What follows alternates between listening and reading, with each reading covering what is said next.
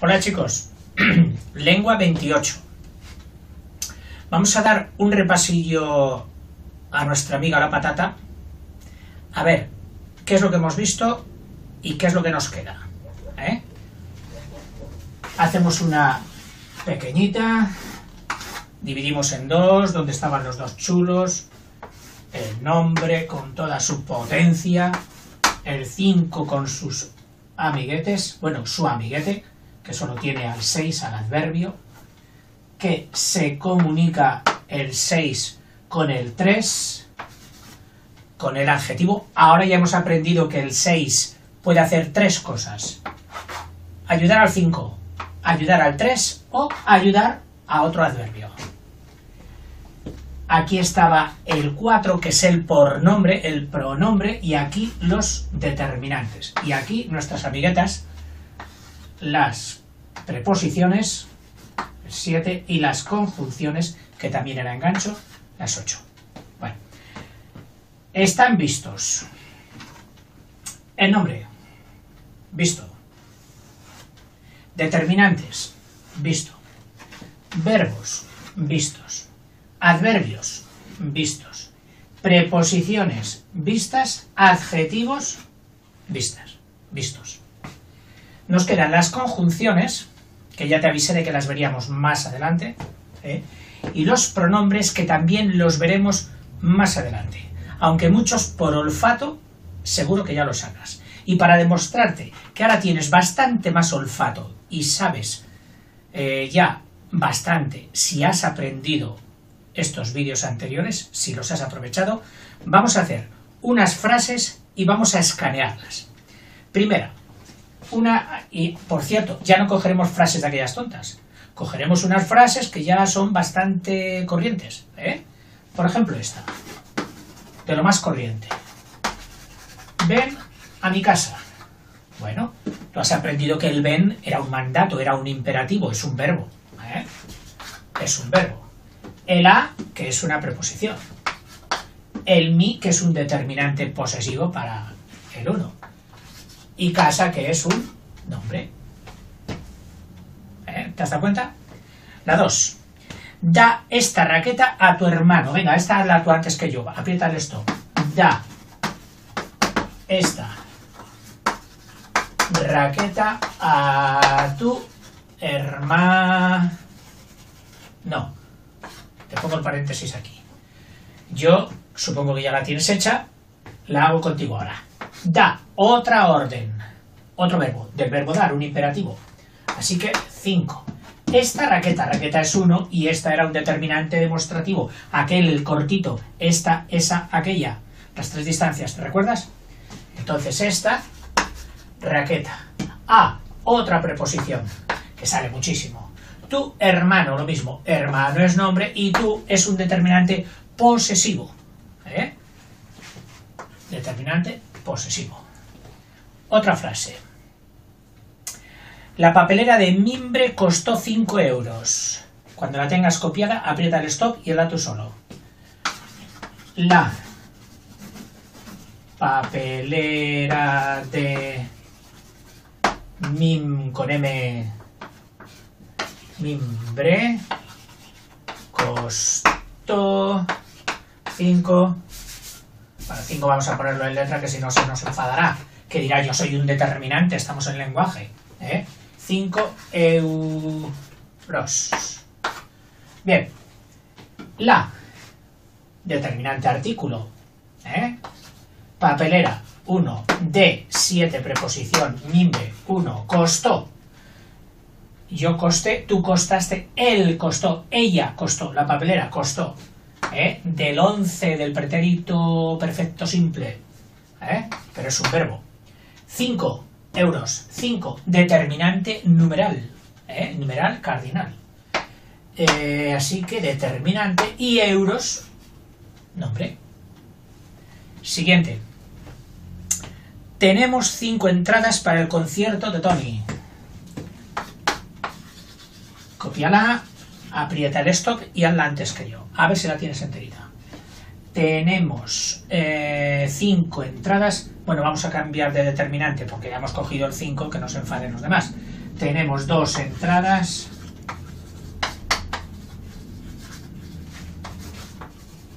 para el concierto. Voy a chocar. Quito esto que ya lo habías visto. Concierto de Tony. Tenemos cinco. Yo tengo, nosotros tenemos dos entradas. Dos, que es un determinante, entradas, que es un nombre, para preposición el determinante artículo con cierto nombre de preposición y Tony, nombre propio de persona, pues uno. ¿Eh? No sé, eh, a lo mejor a mí me parecen excesivamente fáciles, pero bueno, yo creo que nos lo hemos currado. ¿eh? Si ya has visto los vídeos anteriores, esto nos tiene que salir así de fácil. Otra, las zapatillas verdes me gustan mucho las zapatillas verdes me gustan mucho. Bueno, si has hecho el stop y ya la tienes hecha, las 1, 2, zapatillas, 1. Zapatillas verdes. Mira, la banda nominal al completo. La banda del pito. Las zapatillas verdes. Eh, dos... Perdón, ya estaba puesto. Dos zapatillas, uno, verdes, tres. Adjetivo. Me, me. Este me, ¿a quién sustituye? A mí, que soy el que hablo. Gustan a mí. Agradan a mí. Entonces, si me sustituyen a mí es que es un pronombre. Un pronombre. El me, pronombre. Aunque no los hayamos visto, ves que tampoco son tan difíciles. Gustan es del verbo gustar, por lo tanto verbo, y gustan mucho. Un adverbio de aquellos que, ¿cuál era la frase mnemotécnica para acordarte de todas las clases de adverbios? Seguro que a ti ya te ha salido. Eh, tipo, no. Anda, que estoy yo bien para aprender mnemotecnias ahora. Pero bueno, si tú la sabes, ¿eh?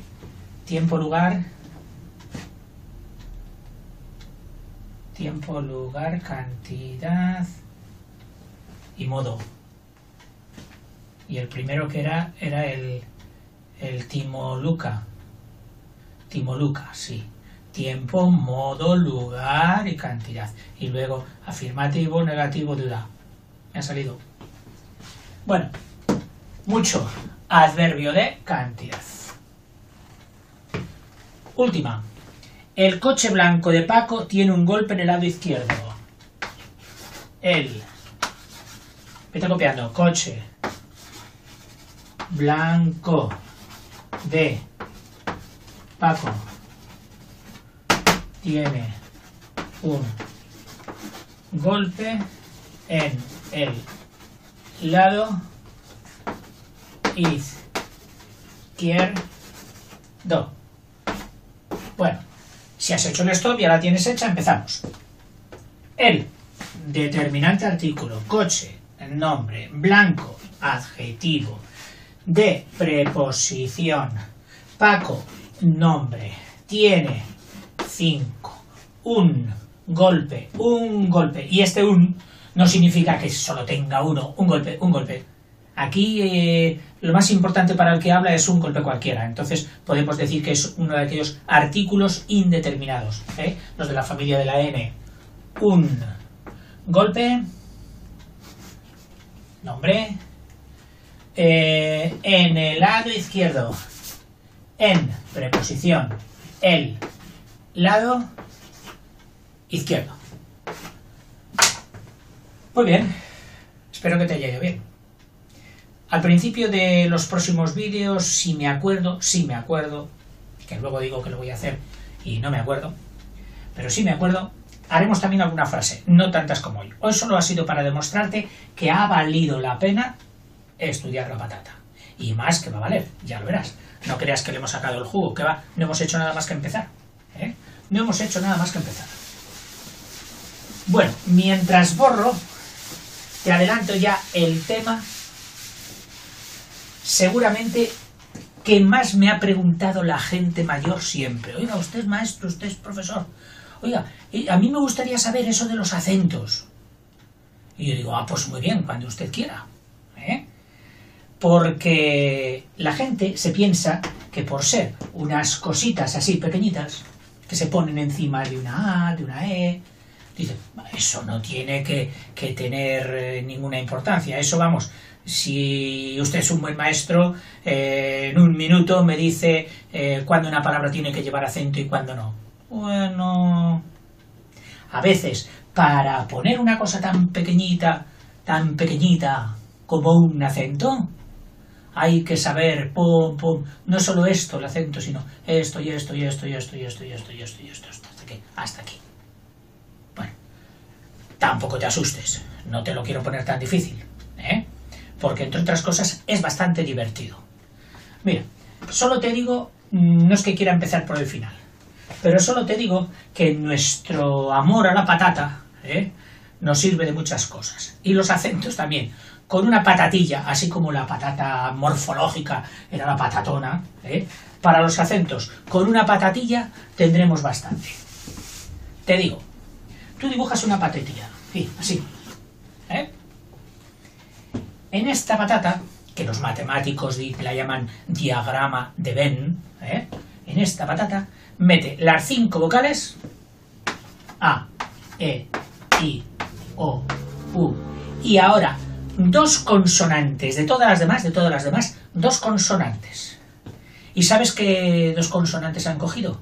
Porque todas se peleaban yo, yo, yo, yo, yo.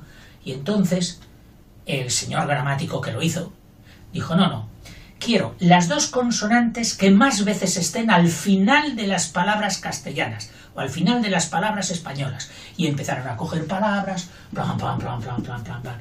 ¿Y sabes cuáles eran las letras que estaban al final más veces? Esta. La N y la S. Entonces dijeron, vosotras sois las elegidas, plin, aquí.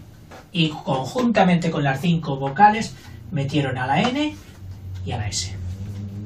Bueno, esa es nuestra patatilla, bien fácil, ¿eh? No como aquella de adverbios, de no sé qué. No, no, esta solo tiene cinco vocales A, I, O, U y dos consonantes, la N y la S. ¿Por qué la N y la S? Porque son las que más veces están cerrando las palabras en español. Bien, entonces, eh, vas a aprender ahora cuándo llevan acento y cuándo no llevan acento. Resulta que hay unas palabras que las llaman palabras agudas. Otras palabras que las llaman palabras llanas. Llanas. Y otras palabras que las llaman palabras esdrújulas. O sea, cualquier palabra de las que estoy eh, pronunciando yo ahora, podrías clasificarlas y una de tres. O son agudas, o son llanas, o son esdrújulas. Pues mira, eso, claro, te lo voy a explicar. Tranquilo que eso te lo voy a explicar. Cómo reconocer si es aguda, si es llana, si es esdrújula. Y además llamaré a un robot para que nos ayude.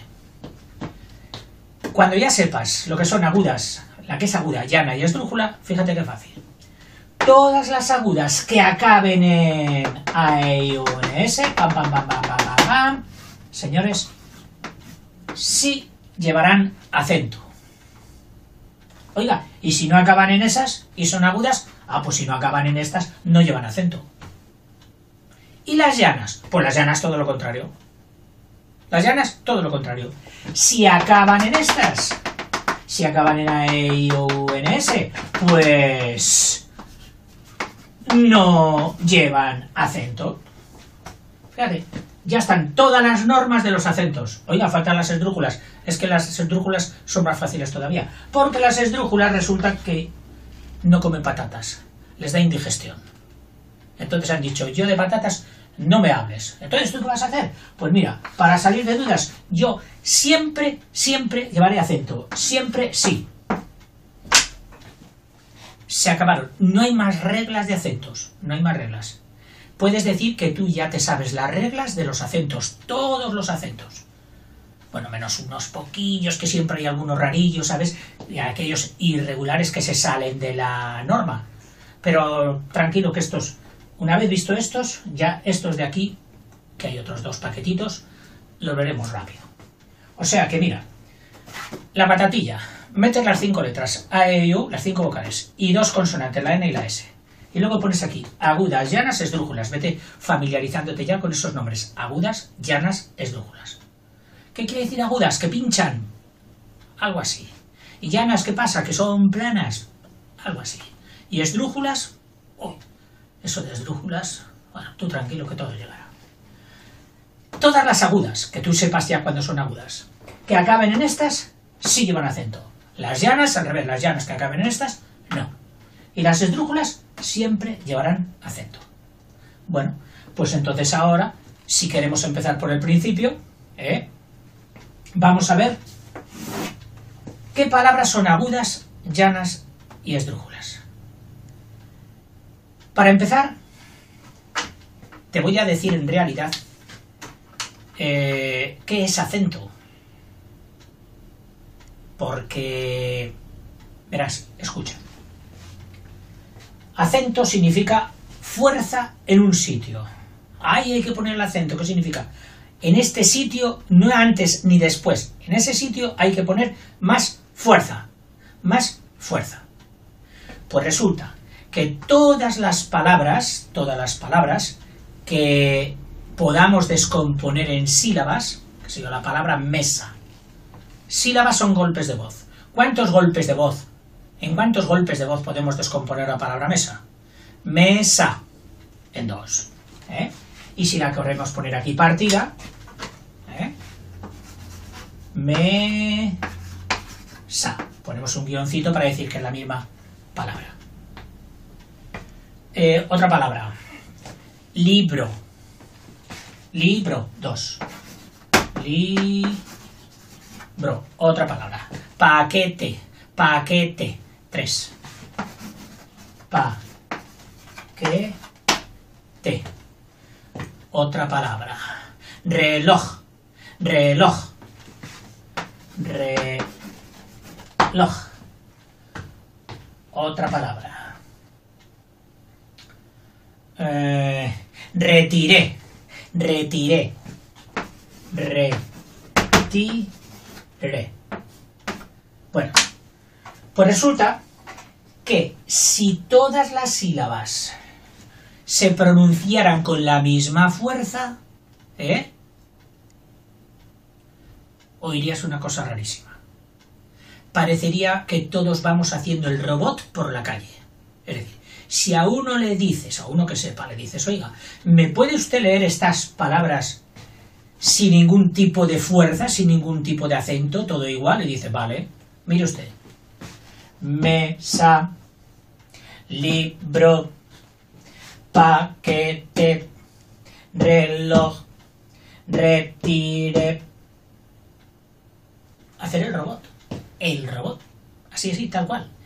Y si quisiéramos representarlo por montañitas o por alturas, cada sílaba, ¿cómo serían?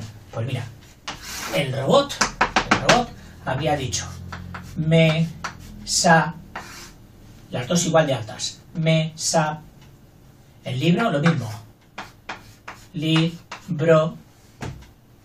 En paquete, pues tres. Pa, que, te. En reloj. Reloj. En retiré. No me acuerdo qué. Ah, sí, dije retiré, no retire. Retiré. Dije retiré. Pero el robot le da lo mismo retire que retire. Porque él dice retire, retire. A él no le importa nada si retire o retire. A nosotros sí.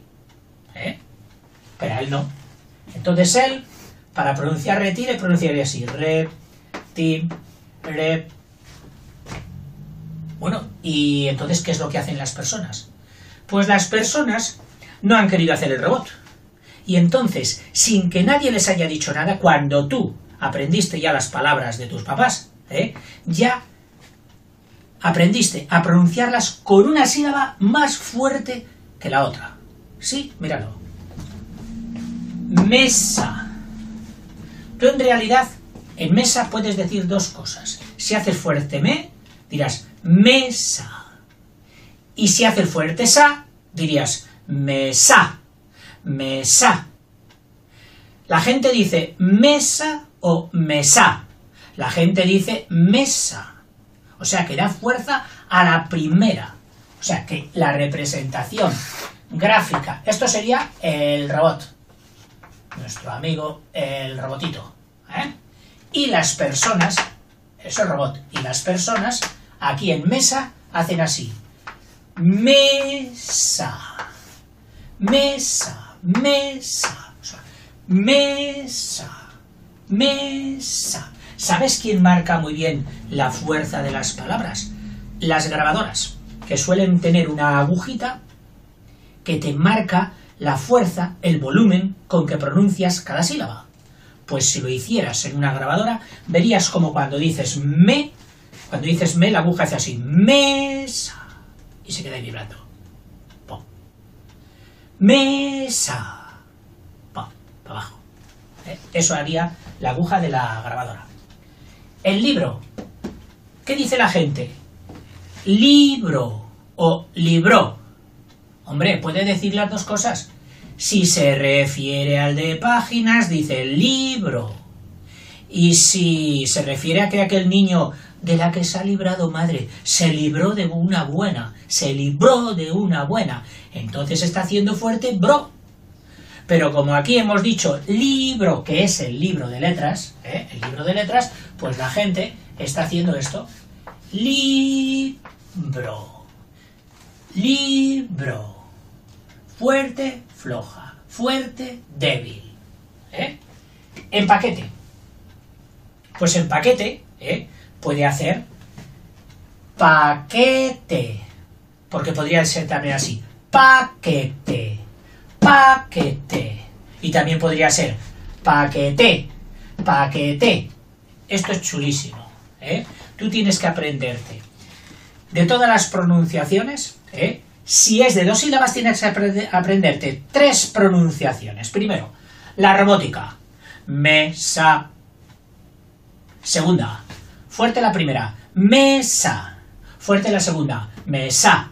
O sea, mesa, Mesa. Mesa. Repetimos. Robot. Mesa. Fuerte la primera. Mesa. Fuerte la segunda. Mesa. ¿Eh? De libro. Lo mismo. Robot. Libro. Fuerte la primera. Libro. Fuerte la segunda. Libro. Libro.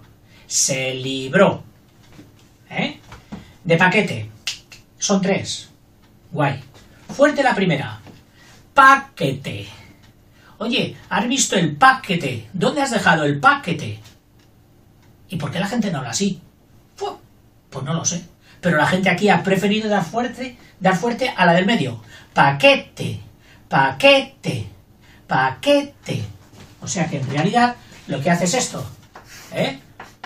Paquete. ¿eh? que podría haber dicho paquete o podría haber dicho paquete. Como jugando, tú tienes que aprenderte así, de rápido y de memoria.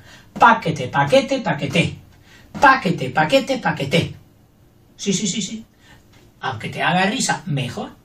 Más te diviertes. Pero tienes que hacer de todas las que tengan tres, tienes que saber pronunciarlas de forma con la primera fuerte, paquete. Con la del medio fuerte, paquete y con la última fuerte, paquete. ¿Eh? Hay palabras que existen las tres. Aquí solo existe una. ¿Eh? Pero hay palabras que ya las veremos que existen las tres. Y según pronuncies el acento puede ser una o puede ser otra. Bueno, acabo ya. Reloj. ¿Cómo dice la gente? Reloj o reloj. Ah, mira, oye, la gente dice reloj fuerte log. Fuerte la última, no la primera. Al revés de estas, que era fuerte la primera. Aquí era fuerte me, fuerte li, fuerte que, y aquí fuerte log. O sea que gráficamente sería no como el robot, reloj, no. Nosotros decimos reloj, reloj. Y aquí dijimos retiré. Podríamos haber dicho retire, pero no. Porque esta, si tiene tres, tiene tres pronunciaciones, además de la robótica. Retire, tiene tres, que sería retire, retire, retire, retire, retire, retire, retire, retire, retire, paquete, paquete, paquete, paquete, paquete, paquete, retire, retire, retire, reloj, reloj, reloj, reloj. La gente no dice, oye, ¿qué hora tienes en el reloj? No, la gente dice, ¿qué hora tienes en el reloj? Fuerte, lo. O sea que aquí, como yo dije al principio, retiré, retiré, en realidad la gente dice re, ti, re, retiré. Muy bien. Pues como ya se me ha hecho el tiempo, ¿eh? solo te adelanto, no quieras tampoco ya saber todas las palabras, pero solo te adelanto un poquito. ¿eh? Solo te adelanto un poquito. Mira, todas estas que hace la gente, tú las coges y las haces chocar contra una pared para que no se muevan ya. ¿eh? Esta es la pared. Una pared. Con arrugas y todo. Todas las, todas las palabras las hemos arrinconado, plaf, plaf, plaf, contra la pared. Pues muy fácil. Si la sílaba, empezando siempre a contar por la pared, empezando a contar por aquí, tú cuentas. Fuerte, ¿dónde está la fuerte? Una, dos. Esta palabra es llana. Es decir, las palabras que tienen no la última, sino la penúltima fuerte, la penúltima fuerte, son palabras llanas. Vamos a la palabra libro. Una, dos. Tú también eres llana, libro. ¿Por qué? Porque tienes tu penúltima. Oh, si es mi primera, pero es que no contamos por el principio, contamos por el final. Entonces, por el final, bro, bro, sería tu última sílaba y li sería tu penúltima sílaba. Y como tienes fuerte la penúltima, tú también eres llana. Muy bien, aquí. Una, dos. Tú también eres llana. Hoy tengo otra, sí, pero la fuerte es la penúltima. ¿eh? Y, mira, aquí no, aquí es la última. Aquí es la última. Pues tú, reloj, eres aguda. ¿Por qué? ¿Porque tengo las agujas que pinchan? No, hombre, no porque tienes fuerte la última sílaba, reloj, ¿eh? Aguda. Y tú, retiré, cuando te dije retiré, también eres aguda porque yo he hecho fuerte la última. Si llego a hacer fuerza a ti, entonces serías llana. Oiga, no nos deje ahora ya sin saber las esdrújulas y qué pasa con ellas. Pues mira, te voy a poner aquí una, una esdrújula, rápido, qué sé yo, eh, mm, árbitro. Árbitro. Árbitro. Podría ser árbitro, árbitro o árbitro. Oye, las tres existen. El árbitro, cuando yo arbitro, mi tío arbitró, existen las tres. Pero bueno, yo he querido decir la primera, la de árbitro. El señor árbitro, vestido de negro, el señor árbitro. Entonces la fuerte es ar. Y para pronunciarla sería así. Ar. No, no, no. Arbitro. Y ahí la pared. Entonces cuentas y dices una, dos, tres. Aguda. Llana, tú eres ni aguda ni llana. Tú, por ser la antepenúltima, eres esdrújula. Anda, la que siempre iba a llevar acento. Pues pónselo ya. ¡Pen! El primer acento que hemos puesto sabiendo lo que hacemos. Árbitro. Una palabra esdrújula, porque la fuerte es la antepenúltima, última, penúltima, antepenúltima, y por lo tanto tú tienes que llevar acento en la A. No me prolongo más. Hasta mañana y seguiremos.